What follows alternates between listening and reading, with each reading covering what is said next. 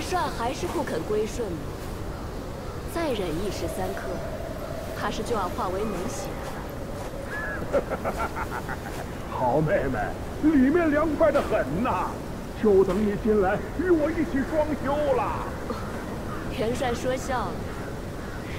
你若放下执念，我自然会劝师傅放了你，到时便可同修大道。哎，我可消受不起。看来那老贼得了师兄的玩意儿，果然功力大涨，连你这冬天小官都被训得服服帖帖。不过听这动静，天命人已赢了打下的金子。好妹妹，估着这金疙瘩要等不到你师傅来开喽。这金挠是祖师爷的法宝，小小天命人如何破得了？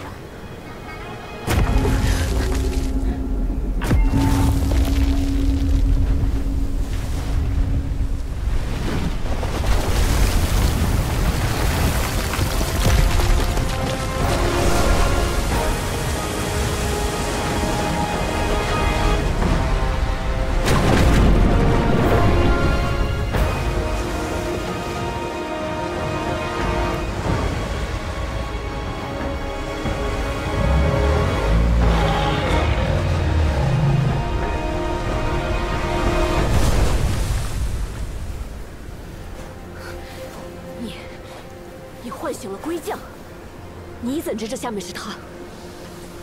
什么舍不得归不归的？刚刚闻到一股骚味，这味道好生亲切，忍不住敲锣迎接。师傅惜你父亲，饶你一命，让你在浮屠塔底清修，既不识相，小西天的极乐之境，怕是与你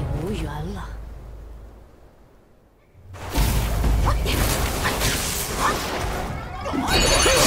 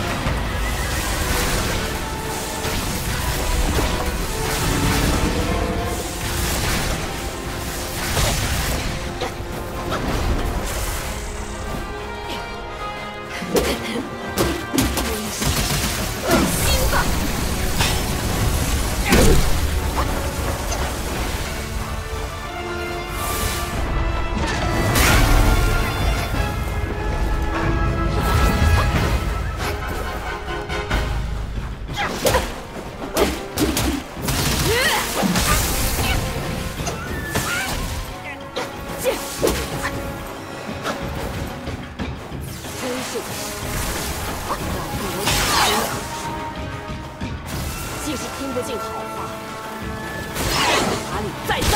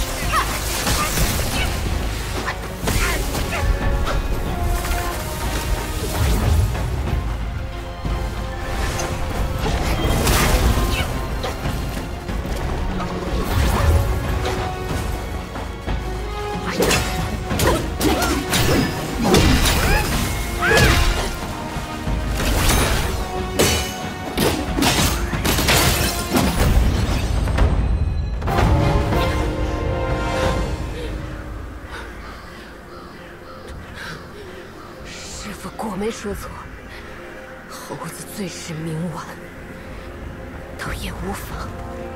这金脑休想打开！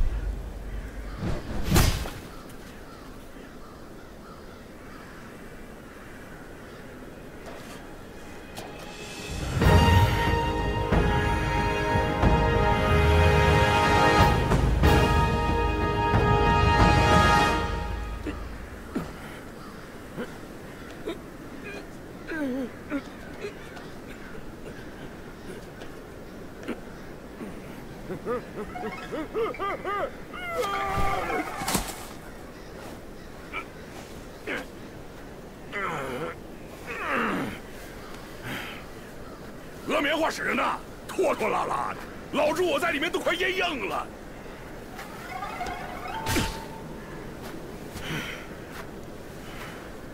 让开，让开！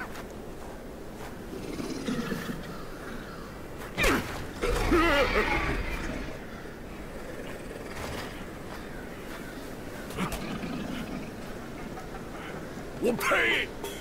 人不人鬼不鬼的婆娘，不想想当年在天上，我几时拿正眼看过她？嗨，又是这模样，毛脸毛眼，尖嘴缩腮，全仗着命大。又是个哑巴。算了算了，正事要紧。这只老龟，我倒有几分交情。